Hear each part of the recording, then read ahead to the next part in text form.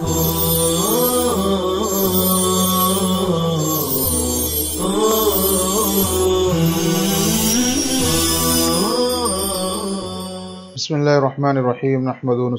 रसूल करीम अम्माबाद अज़ीज़ तलब कराम नाजरीन हज़रात असलकम वरहमतुल्लाहि वबरकatuh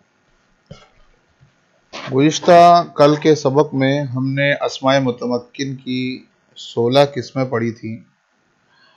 और असमाय मतमक्ना की सोलह किस्में पढ़ी थी और ये बताया गया था कि ये नहव के अंदर बहुत ही अहमियत के हामिल हैं, क्योंकि इसमें की जो दो किस्में हैं, मौरब और मबनी तो पूरी अरब में, यानी अरबी ज़बान में दो ही तरह के लफ्ज़, दो ही तरह के इसमें मिलते हैं, मौरब और मबनी। और मौरब में फिर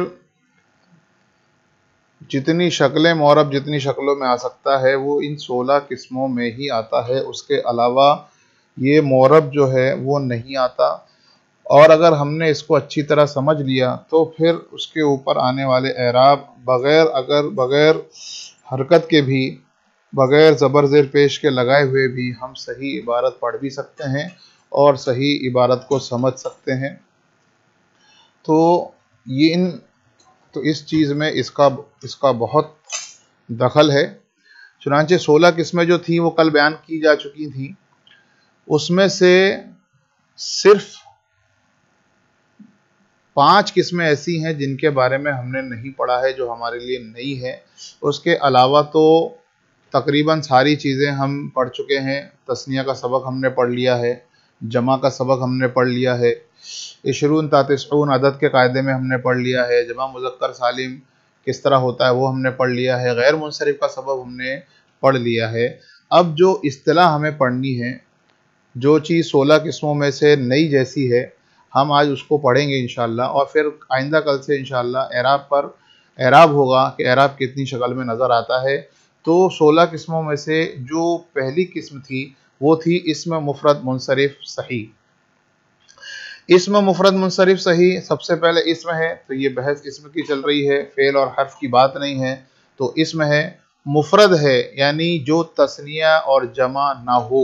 मुफरद हो, यानी तस्निया और जमा ना हो। मुनसरफ हो, यानी गैर मुनसरफ ना हो। और सही हो, यानी उसके आखिर में हरफ इल्लत ना हो।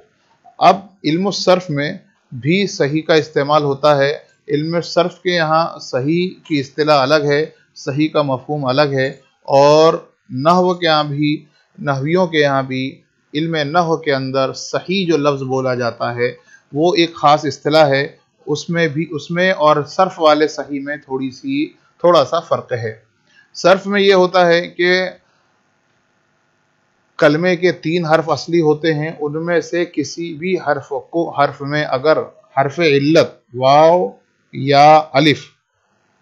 इनमें से कोई हर्फ कहीं पर भी आ जाए शुरू में, बीच में, आखिर में तो वो गैर सही हो जाता है।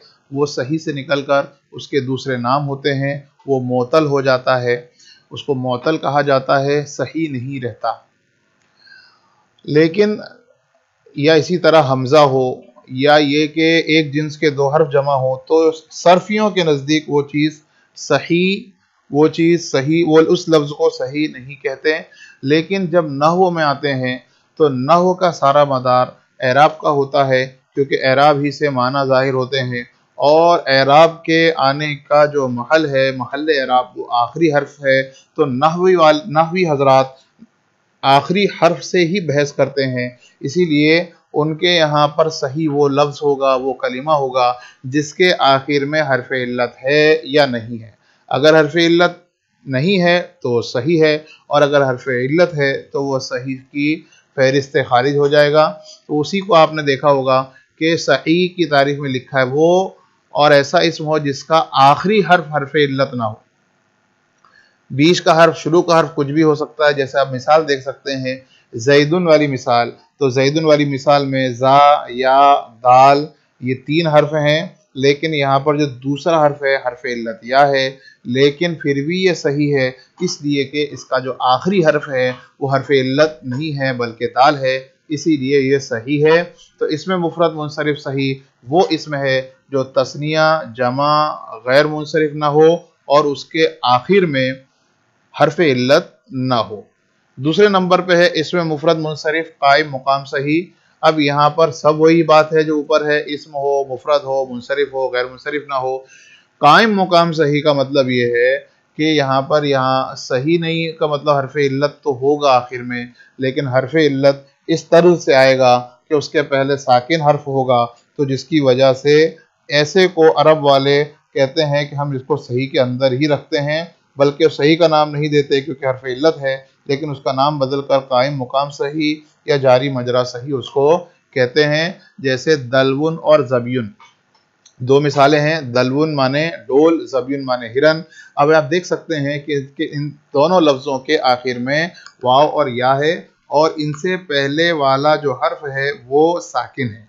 अब साकिन है तो दलवन की लाम साकिन जबियन की बा साकिन अब यहाँ पे आप देख सकते हैं कि यहाँ पर हरफ इल्लत आखिर में है तो लेकिन सही नहीं बोलेंगे। लेकिन इसको कायम मुकाम सही इसलिए बोला जा रहा है कि इनके माकबल में जो हर्फ आ रहा है वो साकिन है तो इसी के साथ, इसी इसी वजह से इसे कायम मुकाम सही कहा जाता है।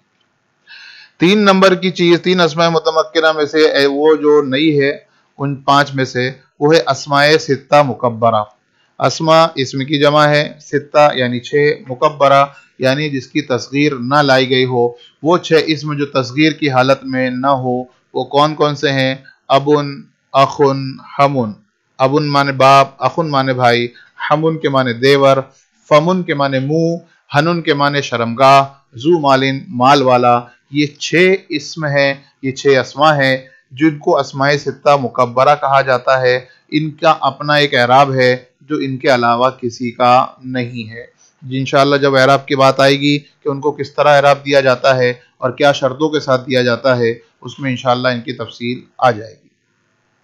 नंबर चार पे है इसमें मकसूर। वो इसमें है जिसके आखिर में अलिफ मकसूरा हो।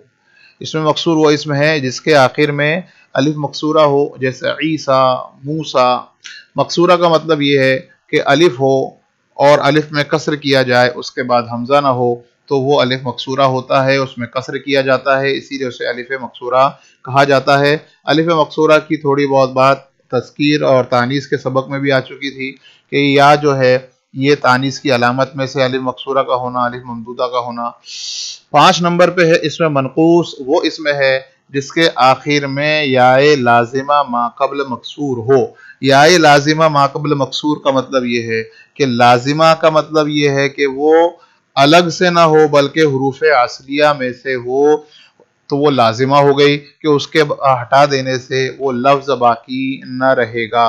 तो लाजिमा है माकबल मकसूर है, और वो मुतकलम की ज़मीर ना हो, जो अलग से लगती है, अलग सा माना देती है। इसी तरह याय नस्बती जो होती है, वो भी अलग से लाक होती है, लगती है। तो उन या का यहाँ पर शुमार नहीं है। बल्कि ऐसा इसम जिसके आखिर में याय लाजिमा माकल मकसूर हो यानी याय असली हो जैसे काजी और दाई। अब इस मिसाल में या और दा, दा या दोनों मिसालों में काजी और दाई इन दोनों मिसालों में या ना मुतकलम की है ना नस्बत की है बल्कि असली है। या असली नहीं है तो असली से बनकर बन गई है जैसे दाई वाव से बदली हुई है और उससे पहले मकसूर है तो इसको इसमें मनकूस कहेंगे। बकिया जितने असमाय मतमक्नात थे, उनकी तारीफ़ात गुजर चुकी हैं। इन आइंदा सबक में एराब कितनी शक्लों में आता है, किस लफ्ज़ पर आता है और किस तरह आता है इन वो बयान किया जाएगा। मिलते हैं आइंदा सबक में। असलकम वरहमल वर्का